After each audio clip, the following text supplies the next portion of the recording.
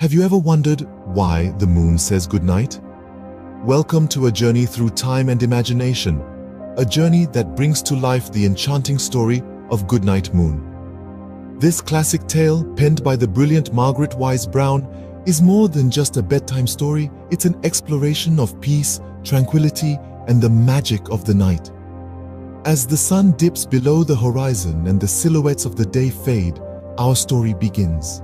In a great green room, tucked away in a cozy corner, lies a little bunny.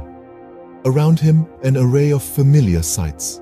A red balloon, a picture of the cow jumping over the moon, and three little bears sitting on chairs. Each item, though ordinary, holds a special place in the heart of the little bunny. This is a tale that invites us to bid adieu to the day and welcome the gentle embrace of the night. The little bunny, in his soft, whispering voice, starts to say goodnight. He says goodnight to everything around him, from the clocks and socks to the mittens and kittens. But why does the bunny say goodnight to all these things? It is a ritual, a calming sequence of goodbyes that allow him to transition from the bustling day to the peaceful night. It's a soothing lullaby that lulls not only him but also the world around him into a restful sleep.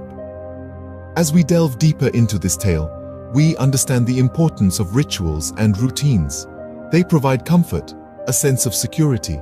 They help us make sense of the world and our place in it. Then, the bunny says goodnight to the moon. The moon, a constant companion in the night sky, a beacon of calm and tranquility.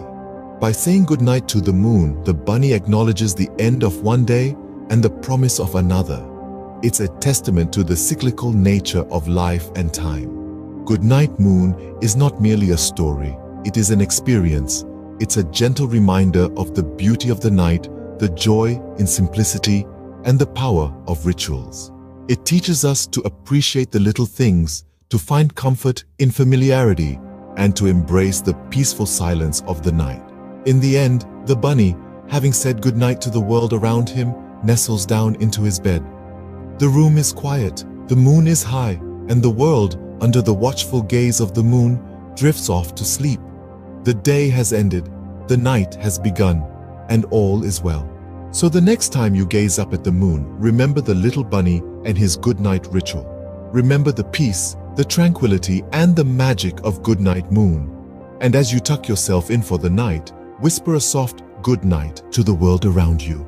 For in the grand scheme of things, aren't we all just like the little bunny, finding comfort in the familiar and peace in the quiet of the night? And with that, we come to the end of our journey. Good night to you, good night to the moon, and good night to the world. Sweet dreams.